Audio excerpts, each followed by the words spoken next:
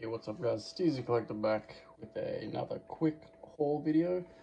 This one is from uh, bricktactical.com. So, Lego Star Wars stuff, really high quality printed stuff. Um, printed in the States as well, Washington I believe. So, open this bad boy up and see what we have inside.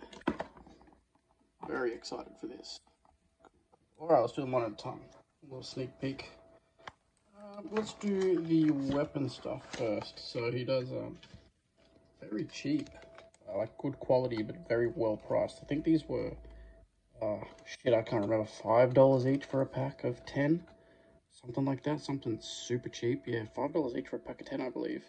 US, um, so like 7 bucks Australian, which is, like these are $1.50 each from Bricklink here in Australia, so seven bucks for 10 each is, is phenomenal. So that'll kit out a bunch of my clones. And uh, speaking of clones, I got three here today.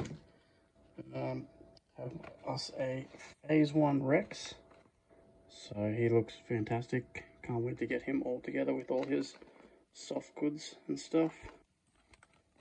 So yeah, he looks very, very good. I'll uh, post photos up on my Instagram of these guys all together. So phase two Rex and a fives to go with him in Arc Trooper gear. So he looks phenomenal as well. Very cool. Weapons included with them as well. Weapons and soft goods all ready to go. So they look great and of course Echo as well. So very very cool. I'm a big fan of what I'm seeing. They look great. And also have Galactic Padawan, which is Cal Kestis. Uh, of course, you can't call him Cal Kestis.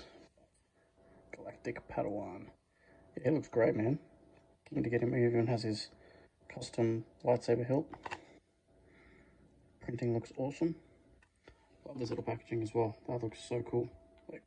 You don't even want to open him. I will to take photos and whatnot, but um, he looks great in just packaging like that. Tactical. Yeah. UV printed, pad printing and injection molding all of our products. Yep. Done in-house in Washington State. So good on you, man. That is very cool. Brick Tactical. Love it.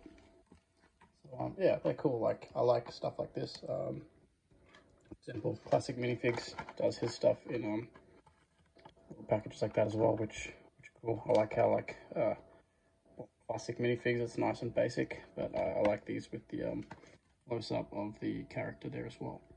So, yeah, I like that a lot. Can't wait to open them up, take some photos for uh, Instagram. But uh, that is the haul for today. Yeah, these guys are great. And Rex as well, of course.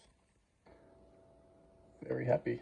Can't wait. I'm going to open them up right now and uh, set them all up. And yeah, there'll be photos up on uh, Instagram. But um, for now, I can't really cut like I used to in the older videos because I'm filming off my phone. I don't really have like an editing software to put them all together. Um, just keeping it nice and basic. I'd rather be filming and uploading basic videos than uh, overcomplicate it and, and uh, not have time to do it. So that is all we have for today, guys. Thanks for tuning in, and I'll catch you in the next one. Peace.